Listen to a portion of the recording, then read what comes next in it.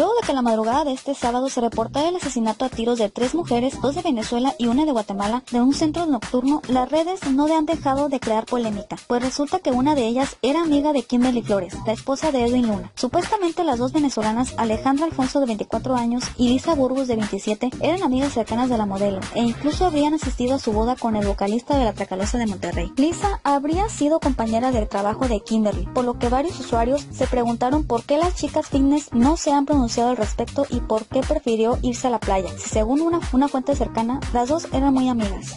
La modelo está siendo duramente criticada en sus redes sociales por preferir irse de vacaciones a Mazatlán, Sinaloa, que visitar a las familias de la joven asesinada para mostrar su cariño y respeto hacia Lisa. Lisa Burgos tenía 27 años de edad y la joven trabajó con Kimberly Flores como edecán en el 2016, donde comenzaron una relación de amistad, contaba con 14.000 seguidores en Instagram y más de 2.000 en Facebook. Siempre destacaban sus viajes y fiestas con sus amigos, con quienes los mejores momentos de su vida. Por su lado, Alejandra Alfonso contaba con 23.000 seguidores y era una mujer muy bella al igual que sus amistades.